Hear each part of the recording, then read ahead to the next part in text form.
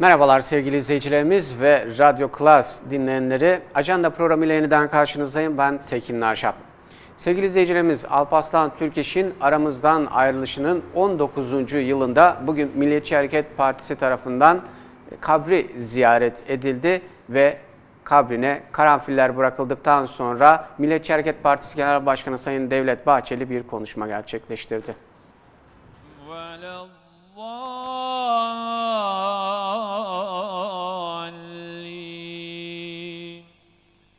آمين أعوذ بالله من الشيطان الرجيم بسم الله الرحمن الرحيم اللهم ربنا يا ربنا تقبل منا إنك أنت السميع العليم Ya Rabbi hayırların fethi, şerlerin defi için son anımızda cümlemize buyurun.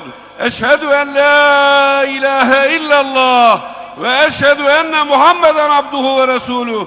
La ilahe illallah Muhammedur Resulullah diyerek imanla emanetini teslim etme bahtiyarlığına nail ve müessir eyle Allah'ım. Hayırların fethi, şerlerin defi için hasreten merhum büyüğümüz, Türk dünyasının bilge lideri, merhum başbuğumuz Alparslan Türkeş'in aziz ruhu için, kaf ehli iman, ehli İslam'ın ervahı için, Allah rızası için El Fatiha.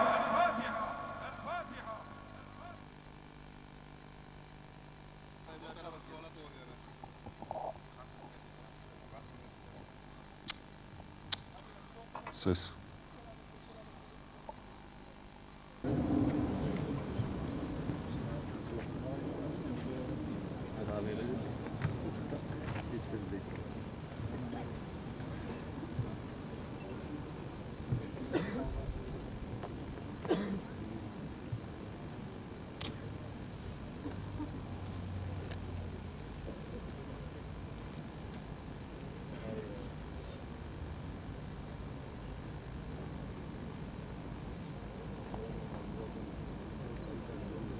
Gel de kurtar bizi.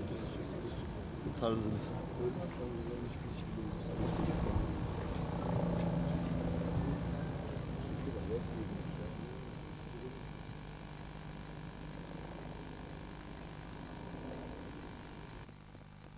Aziz dava arkadaşlarım, değerli ülküdaşlarım, hepinizi saygılarımla selamlıyorum. Merhum başbuğumuz Alparslan Türkeş Bey'in rahmeti rahmana vasıl oluşunun 19. yılındayız. Onu kabri başında dualarımızla yad ediyor, özlem dolu kalplerimizle muhterem hatıralarını paylaşıyoruz. Türkeş Bey büyük bir mücadele, engin bir gönül ve ülkü insanıydı. Taraflı tarafsız herkesin üzerinde ittifak ettiği üzere hayatını mukaddes davasına adamış, ruhunu Türk İslam ülküsünün başarısına vakfetmişti. Onda ufuk ötesi görme kabiliyet ve becerisi vardı. Onda karmaşık olayları kavrama, anlama ve çözüme kavuşturma vasfı hakimdi. Siyasi krizlerin baş gösterdiği dönemlerde sağduyunun sesi olarak hareket eden, aşılmaz görülen sorunları sükunetle halleden bir şahsiyetti. Türk siyaset ve devlet hayatına milli, ahlaki ve manevi bir yorum getirme konusunda heyecan ve aşk doluydu. Türk milletinin tarih ve kültür hazinesinde ülkücü nesillerin düşünü kuran, Türk ve İslam coğrafyalarına umut meşalesi yakan yine Türkeş Bey'in fikir ve akıl ölçüsüydü. Haksızlık karşısında hiç susmadı. Zalimler karşısında hiçbir zaman el pençe divan durmadı. Yozlaşma akıntısına bütün gücüyle direndi. Yolsuzluk seline her şeyiyle göğüs gerdi. Yoksulluk batağını kurutmak için çare ve formüller üretti. Dokuz ışığın aydınlığında geleceğin büyük Türkiye'sini planladı. Bunu da bıkmadan, usanmadan, yüksünmeden devamlı surette anlattı. Merhum Türkeş Bey dalından kopan bir yaprağın kaderini rüzgar tayin eder sözüyle herkesin birliğe, beraberliğe çağırıyor. Milletimizin her ferdini, kökeni, anasının dili ve yöresi ne olursa olsun aynı ruh ve tutuma davet ediyordu. İhtiyacımız olan da hiç şüphe yok ki budur. Türkeş Bey seneler evvel ülkülerinin rotasını belirlemiş ve şöyle seslenmişti. Bu aziz milletimize müreffeh, kuvvetli ve büyük bir Türkiye taahhüt ediyoruz. Kendimizi millete adıyoruz ve Türklük yolunda başlarımızı koyuyoruz. Bugünkü şartlarda Milliyetçi Hareket Partisi bu uğurda gece gündüz demeden çalışacaktır. Dedikoyu besle meslek edinmiş. Fitneye zihnini kaptırmış. İç ve dış mahfillerde kurgulanmış. Algı ve bayat siyaset operasyonlarıyla Milliyetçi Hareket'in yörüngesini oynatmaya niyetlenmiş bazı odakların millet nezdinde mahcup ve mağlup olacağını da hep birlikte göreceğiz. Bizim yönümüz hakka dönüktür. Bizim gücümüz Türk milleti yegane sığınak ve manevi mükafatımız Rabbimizin himaye ve ihsanıdır. Biz doğrunun yanındayız. Meşhur olanın tarafındayız. Milliyetçilikle demokrasinin çakıştığı tarih ve millet kaynağındayız. Türklüğün varlığı ve Türkiye'nin bekası için her şeyi göze alırız. Vatan ve ülkü şehitlerimizin mirası kılavuzumuzdur. De- demir parmaklıkları taş medreseye dönüştürmüş yiğitlerimiz, bizim göz bebeğimiz, milliyetçi ülkücü gençlik asıl teminatımızdır. Merhum başbuğumuz diyordu ki, yeni bir Türk mu- mu- mucizesi doğmalıdır, doğacaktır. Belki yarın, belki yarından da yakındır. İşte biz buna talibiz. Mucizeyi maluma çevirmek ve nefes vermek için tüm gücümüze gücümüzle varız. Milletimizin müşfik ve muazzam gönlündeyiz. Tarihin volkanından çıkmış, kültürün fay hatlarından süzülerek çağlamış maneviyatçı, akılcı, demokratik, çağdaş bir milliyetçilik anlayışımızla Türkiye'nin ve Türklüğün belini doğrultacağız, huzur ve kardeşliğin tek adresi olacağız. Buna merhum başbuğumuzun manevi huzurunda söz veriyoruz.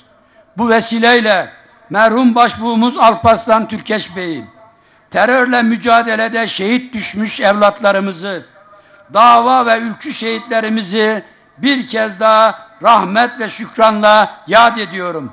Bu mukaddes borcu ifa ederken merhum liderimizin kabrini nur, mekanını cennet olmasını Cenab-ı Allah'tan niyaz ediyorum. Evet, Allah'tan rahmet diliyoruz. Sevgili izleyicilerimiz, Başbakan Yardımcısı aynı zamanda Mersin Milletvekili Lütfü Elvan ve e, Orman Su İşleri Bakanı Sayın Veysel Eroğlu, Veysel Eroğlu hafta sonu Mersin'delerdi ve valiliği ziyaret ettiler. Valilik ziyaretinde yaptıkları basın toplantısında Başbakan Yardımcısı Lütfü Elvan, Mersin'in Çukurova Bölgesel Havalimanı'nın Nisan ayı içerisinde ihale tarihinin belli olacağını belirtti. Tekrar Mersin ilimizde, Mersin'imizde sizlerle bir arada bulunmaktan büyük bir memnuniyet duyduğumu ifade etmek istiyorum. Özellikle Orman ve Su İşleri Bakanımıza e, çok teşekkür etmek istiyorum. Gerçekten son bir hafta içerisinde e, bakanlık olarak Orman ve Su İşleri Bakanlığı Mersin ilimizi masaya yatırdı. 2015-2019 döneminde Mersin'de neler yapılması gerektiği konusunda çok kapsamlı bir çalışma yaptılar. Bir anlamda e, bakanlığımızın e, ilgili genel müdürlükleri, ilgili birimleri Mersin ilimize yönelik e, neler yapabiliriz, neleri gerçekleştirebiliriz bununla ilgili e, çok detaylı, kapsamlı çalışmalarını tamamladılar. E, bunların genel bir değerlendirmesini burada bir kez daha yapacağız. E, ben huzurlarınızda tekrar Orman ve Su İşleri Bakanımız e, Veysel Eroğlu diye çok teşekkür ediyorum. Ee, Mersin biliyorsunuz bir e, ticaret e, kenti, bir sanayi kenti. Ancak bir ticaret kenti, sanayi kenti yanında Mersin önemli bir tarım kenti, bir orman kenti, orman şehri. Tarım denildiğinde ilk akla gelen e, ve e, her şeyden önce düşünülmesi gereken işte çiftçimizin e, rekabet gücünün artması, e, tarımsal üretimde verimliliğin artması, e, özellikle ihracat potansiyeli yüksek olan Mersin ilimizin ihracatının daha da yükselmesi ve üretimin artması. Bunun içinde olmazsa olmaz diyebileceğimiz en gerekli olan husus su. Eğer siz e, yeterli miktarda suya sahipseniz, yeterli miktarda barajınız, göletiniz varsa, sulama tesisleriniz varsa, ee, biraz önce Sayın Bakanımız da ifade etti. Ee, Verimliliğiniz o derece art- artacak, üretiminiz o derece artacak ee, ve ihracatımız artacak. Çiftçimizin cebine daha fazla para girmeye girmesine imkan sağlanmış olacak. Bu açıdan bakıldığında e, Mersin'de gerçekten bugüne kadar 2,5 milyar liralık son 14 yılda bir e, orman ve su işleri alanında yatırım yapılmış durumda. Ee, Bundan sonraki süreçte e, ihtiyacımız olan barajlar nelerdir, göletler nelerdir? Bunlar teker teker tespit edildi. Ayrıca bakanımız şu sözü de verdi. Biraz önce ifade etti biliyorsunuz. 38 adet 2019 yılına kadar e, gölet ve barajı tamamlayacağımızı ifade etti. Eğer e, yerleşim yerlerimizde, küçük yerleşim yerlerimizde, eskiden köy olarak nitelediğimiz, şu anda mahalle konumuna gelen yerleşim yerlerinde vatandaşlarımızın ilave gölet ihtiyaçları varsa bunları da dahil edelim ve bunları da programa alalım ve e, bunları da teker teker gerçekleştirelim şeklinde sağ olsun Sayın Bakanımız bize bu sözü verdi ve bu çerçevede de yoğun bir şekilde e, DSİ Genel Müdürlüğümüz, Bölge Müdürlüğümüz, e, yine Orman Genel Müdürlüğümüz, Bölge Müdürlüğümüz çalışmalarını e, yürütüyorlar. Ee, Orman e, yine son derece önemli. Ee, Çok sayıda orman köylümüz var. Ee, Özellikle orman köylülerimizin e, gelirlerinin artırılması, ekonomik durumlarının daha da iyileştirilmesine yönelik e, ciddi çalışmalar yapıyor bakanlığımız. Bu çerçevede e, biraz önce zikredildiği e, işte zeytin e, ağaçlarının aşılanması, diğer taraftan e, işte ceviz ağaçlarının dikimi, teşviki, ve orman köylümüzün ekonomik durumunun daha da iyileştirilmesi son derece önem arz ediyor. Bakın ceviz bakanlığımız niye cevize bu kadar önem veriyor? Biz ceviz ithal eden bir ülkeyiz. Ama ülkemizin de o kadar geniş imkanları var ki bu imkanları biz neden kullanmayalım? Neden harekete geçirmeyelim? Dolayısıyla bu çerçevede özellikle Mersin'imize e, e, ceviz üretimine yönelik, badem üretimine yönelik çok yoğun bir destek e, e, verecek bakanlığımız. E, bu açıdan da tekrar bakanlığımıza e, çok teşekkür etmek istiyorum. E, diğer taraftan belki sizler soracaksınız, e, e, gölet, baraj, işte taşkın koruma, dere ıslahı ki bunlar son derece önemli. Bakın dere ıslahı dediğimiz hadise bir taraftan o yerleşim yerinin baskından, selden e, e, kurtulmasını, baskın ve selin önlenmesini sağlıyorsunuz. Diğer taraftan doğal açıdan da e, gerçekten şehre, kente, ilimize güzel bir görünüm kazandırmış oluyorsunuz. İşte yüze yakın e, dere ıslahı söz konusu 2019 yılına kadar. E, Mersin ili sınırları içerisinde bulunan tüm derelerimizi Allah'ın izniyle teker teker ıslah edeceğiz. E, o suyu e, gerçekten çok daha verimli bir şekilde kullanacağız. Ki önemli bir husus da şu değerli arkadaşlar sulama açısından e, özellikle vahşi sulamadan e, kapalı şebeke sulama sistemine geçiş ki son derece önemli verimlilik açısından bu yönde de e, Orman ve Su İşleri Bakanlığımızın çok ciddi katkıları var, destekleri var. İnşallah önümüzdeki dönemde bizim temel hedefimiz e, Mersin ili sınırları içerisinde tüm sulama sistemlerimizin kapalı şebekeye dönüştürülmesi. Ve bu çerçevede de inşallah adımlarımızı yoğun bir şekilde atacağız, e, faaliyetlerimizi yürüteceğiz.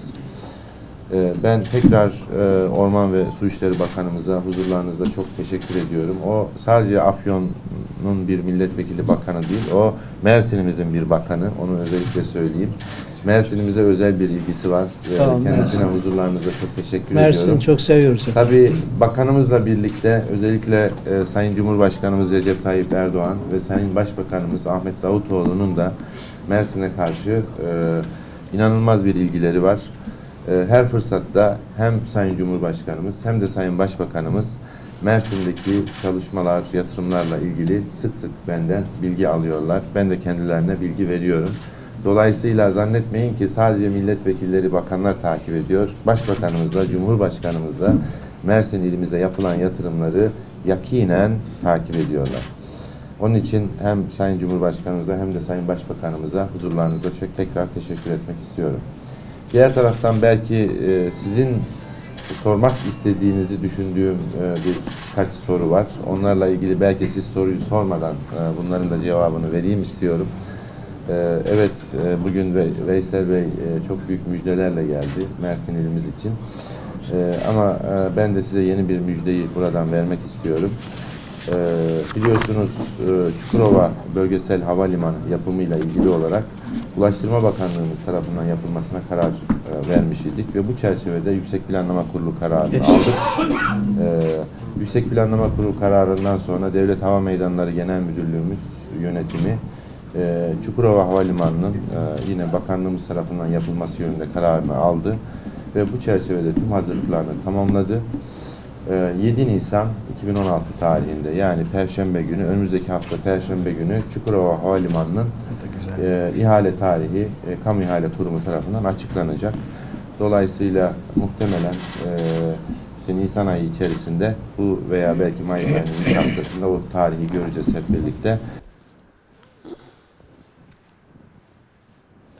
Ve sevgili izleyicilerimiz Orman Su İşleri Bakanı Veysel Eroğlu da yine Mersin'deydi ve valilik ziyaretinde kendileri de bir konuşma yaptılar. Mersin'e 58 müjdeyle geldiklerini söyledi. Ayrıca Orman Te- Teşkilatımızın müjdeleri var. Ee, özellikle bu, bugün o temel atma merasiminden sonra e, aşağı yukarı e, 3800 adet fidan dağıtacağız e, merasime gelenlere. Bunlardan e, 2000 tane fıstık çamı, 1000 tane biberiye, e, ceviz, incir, defne toplam 3600 adet fidanı vatandaşlarımıza dağıtacağız. E, bunun dışında e, özellikle gene aynı merasimde te- temel atma merasimiyle birlikte vatandaşlarımıza gelir getirici türlerin sertifikasını vereceğiz. E, Bunlar özellikle e, yeni bir uygulama başlattık. Hükümetimizin eylem planı çerçevesinde işte bunu da hazırlayan e, bu eylem plan mimarı Lütfü El- Elman kardeşimiz 5000 köye 5000 tane gelir getirici orman kuracağız. Bu çerçevede Mersin'de de çok sayıda köye bu gelir getirici türleri dikeceğiz. Ee, şöyle yapıyoruz Sayın Başbakan Yardımcım. Ee, bir mahalle artık burada köy yok mahalle. Mahalleye en yakın e, e, ormanlık alanda, bozuk ormanlık alanda o bölgeye en uygun fidanları dikiyoruz.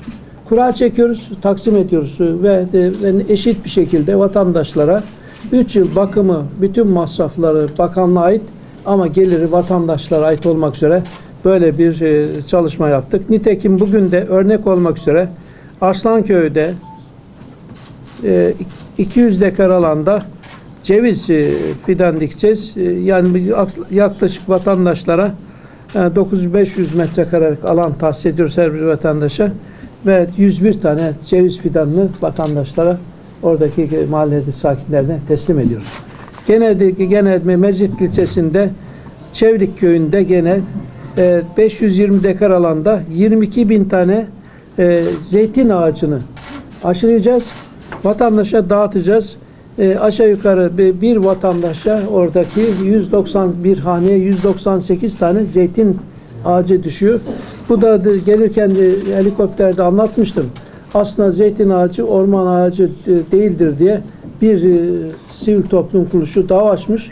Ama bir, biz e, baktık e, yargının kararlarına neticede yüzde seksen zeytin, yüzde yirmisi diğer ağaçlar olmak üzere bunları delice dediğimiz yabani zeytinleri aşılayıp vatandaşa dağıtmak böylece aşağı yukarı 60 tane zeytin ağacı olan vatandaş bir yıllık gelirini hane e, temin ediyor. Böyle bir uygulama başlattık. Bu iki köyde bu, bugün örnek bir kura çekimi yapacağız. Vatandaşa dağıtacağız. E, İşte bizim farkımızı eşit bir şekilde, adil bir şekilde dağıtım yapacağız. E, Bunlarla alakalı da bu- bugün temel atma merasimi dışında bir de müjdelerimiz var. Daha önce biliyorsunuz e, buraya Mersin'e geldiğimizde e, Sayın Başbakan Yardımcım tam 58 tane müjde vermişti. Ve bu da 2 milyar 150 milyon TL'ydi. Bu sefer gelince e, tabii Başbakan Yardımcıyla beraber geliyoruz. Bu, bu sefer de 37 müjdeyle geldik birlikte. Ve bu da 311 milyon TL. Sayın Eroğlu daha önce geldiklerinde 58 müjdeyle geldiklerini ve buna ilave olarak bu hafta sonu da geldiklerinde 37 yeni müjdeyle ilave müjdelerle geldiklerini belirttiler bu arada. Ve sevgili izleyicilerimiz ziyaretler devam etti. Başbakan Yardımcısı Lütfü Elvan Muhtar muhtarlarla bir araya geldi. Muhtarlarla yaptığı konuşmada gençlerin 3.6 milyarlık prim borcunu sileceklerini söyledi. 1 Kasım seçimleri öncesinde size değişik vaatlerimiz oldu. Evet, bizi iktidar yaparsanız biz hükümete gelirsek şunları şunları gerçekleştireceğiz dedik. 44 adet vaatte bulunduk. 3 aylık süre içerisinde bu vaatlerimizin tamamını gerçekleştirdik değerli arkadaşlar. Bunları teker teker saymak istemiyorum. Ama hatırlarsanız muhtar maaşlarını yine burada dile getirmiş idiniz. Zannedersem 16 Ekim tarihinde 16 Ekim 2015 tarihinde sizlerle yine bu salonda buluşmuş idik. Burada da sizlerle konuşmuş, dertleşmiş idik. Aradan yaklaşık 5-5,5 ay geçti. Şimdi de gerçekten vaatlerimizi tamamlamanın gururu içerisinde sizlerle bir araya gelmekten büyük bir onur duyduğumu ifade etmek istiyorum. Muhtar maaşlarından tutun asgari ücrete, gençlere vermiş olduğumuz vaatlerden tutun tarım kesine, kesimine, çiftçilere vermiş olduğumuz vaatlere kadar. Bunların her birini teker teker anlatmak istemiyorum. Ama neyin sözünü vermişsek bunların her birini teker teker gerçekleştirdik. Şimdi reformlarımızı yapıyoruz. Yani hükümet eylem planımızda yer alan bir yıllık reformlarımızı gece gündüz cumartesi pazar demeden yoğun bir şekilde çalışarak gerçekleştiriyoruz. Bu konuda da özellikle Türkiye Büyük Millet Meclisi'nde grubu bulunan diğer siyasi partilerin de bu sürece destek vermesini arzu ediyoruz. Ancak maalesef bugüne kadar bu desteği alamadık. İnşallah bundan sonraki süreçte reformlarımızı daha çabuk yapabilmemiz, gerçekten size daha iyi hizmet sunabilmemiz için meclisimizin de mecliste grubu bulunan muhalefet partilerin de sürece katkı sağlaması, destek sağlaması önemli diye düşünüyorum. Değerli arkadaşlar, biz bir taraftan terörle mücadele ederken yine ülkemizin çevresine baktığımızda ciddi kargaşaların, sıkıntıların yaşandığı bir tablo ortadayken Türkiye büyümeye ve güçlenmeye devam ediyor. Türkiye 2015 yılında yüzde dört büyüdü ki Hindistan ve Çin dışındaki diğer ülkelere baktığımızda büyüme performansı en yüksek olan ülkelerin başında Türkiye geliyor. Diğer taraftan Avrupa Birliği ülkelerine ve diğer gelişmekte olan ülkelere baktığımızda onların büyüme bir yana küçüldüğünü görüyoruz. Mersin AK Parti'de görev devri yapıldı sevgili izleyicilerimiz. İstifa eden eski il başkanı İsmail Taşpınar yeni görevini e, Sayın Cesim Erci'ye devretti ve yaptığı konuşmada da bugüne kadar yapmış olduğu çalışmalardan bahsetti.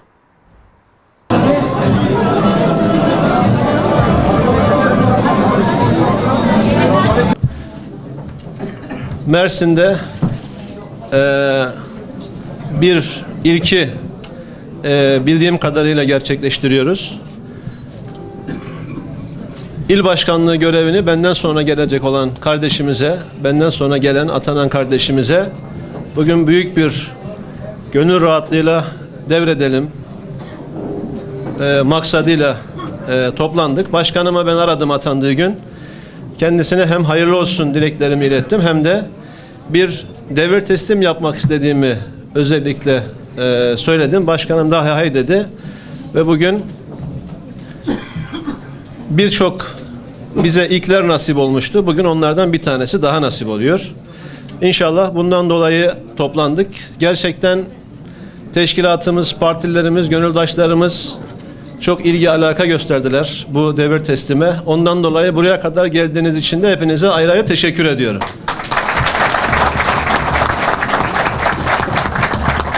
Özellikle dışarıdaki ilçelerden gelen çok kıymetli ilçe başkanlarıma çünkü onlar uzun yollardan geliyorlar. Bugüne kadar hep uzaktan gelenleri öncelikledik. Burada bulunan, merkezde bulunan ilçe başkanlarımız, arkadaşlarımız da lütfen alınganlık göstermesinler. Ama uzaktan gelmek, sürekli Ankara'ya gidip gelen bir kardeşiniz olarak gerçekten yol e, teperek gelmek gerçekten kolay değil. Onlara ayrıca teşekkür ediyoruz. Evet değerli arkadaşlar çok fazla e, siyasi nutuk atma niyetinde değilim. Ancak birkaç konuya temas etmek istiyorum. Partimizin kurulduğundan bu yana tüm seçimlerde görev almış bir kardeşinizim. 2002 seçimlerinde sandık görevlisi olarak başladım partimize hizmet etmeye. 2004 seçimlerinde okul sorumlusu olarak çalıştım. 2005 yılında Merkez İlçe Başkan Yardımcısı olarak 3 yıl görev yaptık.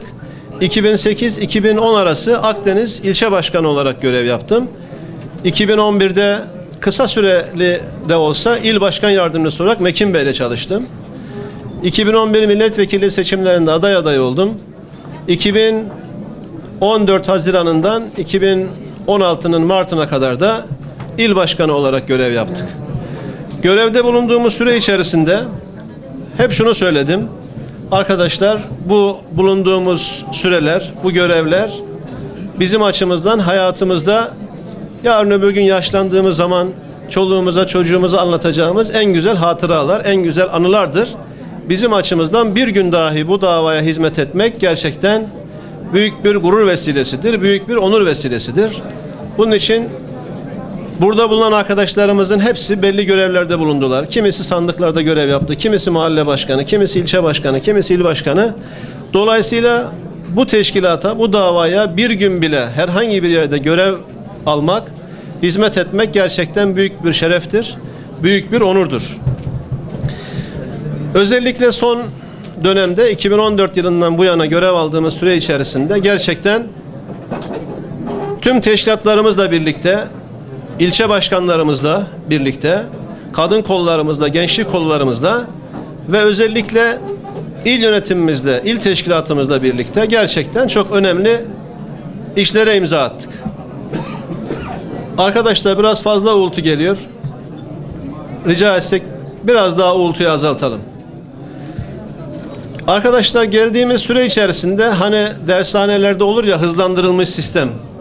Biz gerçekten çok kısa süre içerisinde aynı hızlandırılmış sistem gibi çok kısa sürelerde mitingler, seçimlere imza attık. Geldikten hemen kısa bir süre sonra Haziran ayında atanmıştım 2014'ün. Temmuz ayının içerisinde 24'ünde Sayın Cumhurbaşkanı adayı olarak kurucu liderimiz Recep Tayyip Erdoğan'ı ağırladık Mersin'de. Ve Mersin'de bugüne kadar görülmemiş en büyük organizasyonu iftar programı yaptık. 6000 kişiye stadyumda iftar verdik. Arkasından Ağustos ayında Cumhurbaşkanlığı seçimlerini yaptık. Cumhurbaşkanlığı seçimlerinden sonra teşkilatlarımızda kongre sürecini başlattık. Kongre süreçleri bittikten hemen sonra da 7 Haziran seçimlerine hazırlandık. 7 Haziran seçimlerini büyük bir başarıyla atlattıktan sonra 1 Kasım seçimlerine hazırlandık. Yine 1 Kasım'da da milletvekili adaylarımızla Sayın Başbakan Yardımcımız Lütfü Elvan Bey ile il teşkilatımızla, ilçe başkanlarımızla ve tüm teşkilatlarımızdaki kadın ve gençlik kollarımızla birlikte gerçekten elimizden geldiği kadar gayret gösterdik. Bulunduğumuz süre içerisinde hep şunu biliyorduk. Biz görevde bulunduğumuzun bilincindeyiz, bulunduğumuz görevin bilincindeyiz ve her gününü gerçekten bu sorumlulukla çalıştık. Ve şunu da biliyorduk. Bu görevler bizden önce 7 tane il başkanımız vardı. Ben 8. il başkanıydım. Bundan sonra 9, 10, 11 görevler devam edecek. Bundan sonra gelen arkadaşlarımız da bayrağı çok daha yukarılara çıkartacaklar. Buna olan inancımız sonsuz. Bizler özellikle ülkemizin içinde bulunduğu iç ve dış tehditleri biliyoruz. Türkiye'mizin üzerinde oynanan oynan, oyunları biliyoruz. Tüm bu oyunlar oynanırken bizim buralarda küçük hesaplar, küçük işler peşinde olmamız asla düşünülemez. Bizim özellikle kurucu liderimiz Sayın Recep Tayyip Erdoğan'ın ve şu andaki genel başkanımız Sayın Ahmet Davutoğlu'nun elini güçlendirmek, en büyük vazifemiz bu. Onları teşkilatlardaki sıkıntılarla, teşkilatlarla meşgul etmemek bizim açımızdan en büyük meseledir. Bizler onların yüklerini hafifletmek, onları daha güçlü kılmak için buralardayız arkadaşlar. Ve sevgili izleyicilerimiz görevi devralan Cesim Ercik'te bir e, açıklama yaptı ve daha önceki yönetime teşekkür etti. Şimdi işin gerçeği e, protokol konuşmalarını bir türlü ben sevmedim gitti. Öncelikle onu söyleyeyim. E, ama bunu tüm samimiyetimle söylüyorum ki bütün seçimlerde alnının akıyla çıkan, başarılarıyla çıkan, üzerine kat kat sayı ekleyerek çıkan il başkanıma ben sonsuz teşekkürleri tekrar bir borç biliyorum. Tekrar teşekkür ediyorum. Kendisi sağ olsun, var olsun yönetimiyle beraber.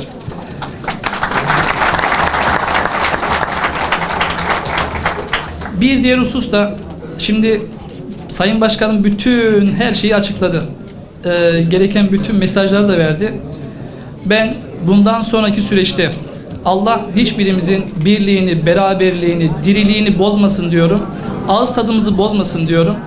Geldiğinizden dolayı da hepinize sonsuz teşekkür ediyorum.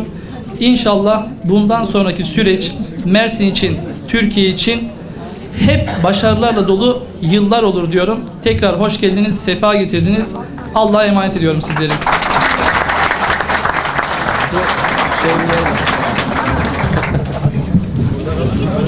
Çiçeğe de ben vereyim başkanım. Ben vereyim.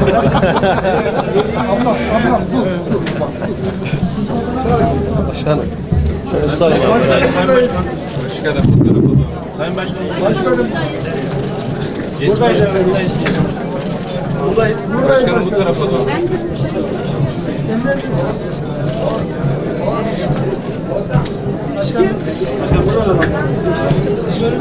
Başkanım böyle bakalım. İsmail Başkanım. Kesin Başkanım. Ve böylelikle bugün de programımızın sonuna geldik. Yarın yine aynı saate tekrar birlikte olmak ümidiyle. Hoşçakalın.